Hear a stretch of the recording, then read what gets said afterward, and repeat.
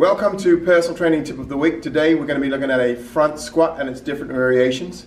And just to portray the difference between a barbell back squat and a front squat, as you can see from the two illustrations here, with the back squat there's much more flexion or a forward lean and the bar is directly placed on the back or the upper part of your neck.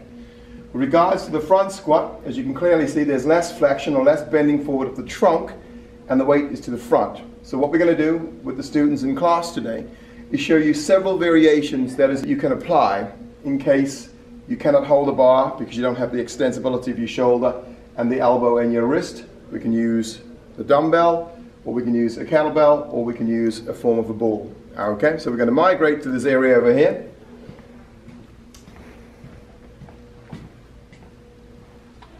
Our first variation is where we're using a barbell. Okay, so we have a couple of straps here. Historically, these are used for deadlifts and things of that particular nature. But we're going to use it for the purposes of our client here not having shoulder flexibility and extensibility. So this is going to aid him doing a front squat. What he's going to do is step forward and hold those upright like so. Place this on the top part of the shoulders where it's comfortable. Make sure it doesn't dissect the carotid artery because that will mean your client will pass out. So make sure you're comfortable. And from there, we're going to descend into a front squat to whatever range of motion is attainable by your client, preferably your thighs parallel to the ground. He will breathe out on the exertion phase up and breathe in on the down phase. And in the interim, he will keep this ideally parallel so the weight doesn't roll forward. That's one variation. Thank you, young man.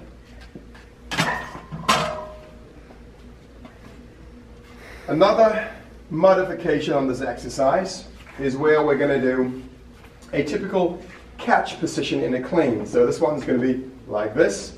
So my client is going to have his or her barbell in the fingers or the hand. The elbows again is going to ideally be up and the humerus is going to be parallel to the ground and we're going to descend in this position here. So that's the second alternative if you have the flexibility and extensibility to do so.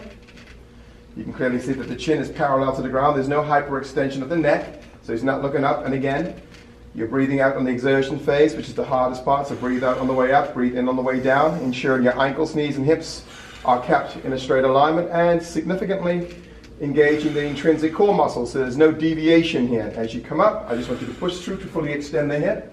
Great. And one more repetition. Excellent. So we're going to rack the bar, and this is another way of actually holding the bar for a front squat. And this time we're going to do a crossover technique right here. Some people will find this a comfortable option also. So these are all variations.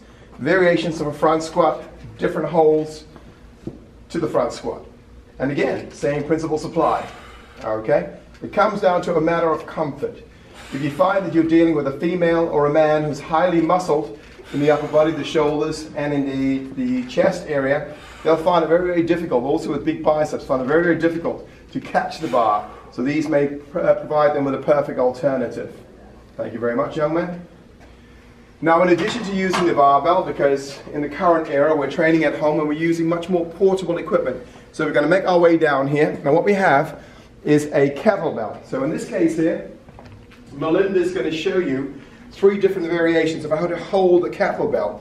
If you have a shoulder injury, you might have a preference of one over the other.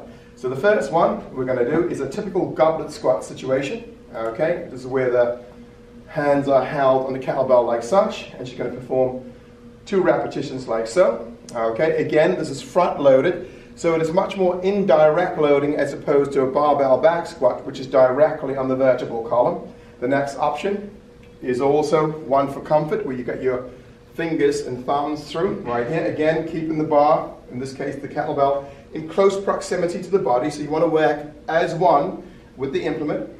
Okay, and the next option, there's three options. The third option, oops, there you go, is like so. Okay, like you're holding a purse. And away you go. So those are the three options of the kettlebell. And again, it serves the quadriceps and the gluteus maximus very well. Those are the primary muscles used in a squat exercise. And then if we can, we're just going to have that slam ball here. We're going to move the slam ball down. And we're going to utilize this. If you have a slam ball at home, this comes in very, very handy because the same principles apply. Referred to often as a carry squat, okay, or a Zercher squat, irrespective of which terms you want to use. Again, it's a great uh, indirect loading front squat. Okay, so I hope you uh, enjoy those personal training tips of the week. We'll see you again soon. All right, thanks for visiting NPTI Florida. I'm Pat Sherman. Just wanted to let you guys know to please follow us, like us, subscribe to our YouTube channel. We're going to try to do a really good job this year and uh, give you as much information as possible on the fitness industry, health and wellness. Uh, give us a call, text 407 772 0057. That's Pat Sherman, 407 772 0057.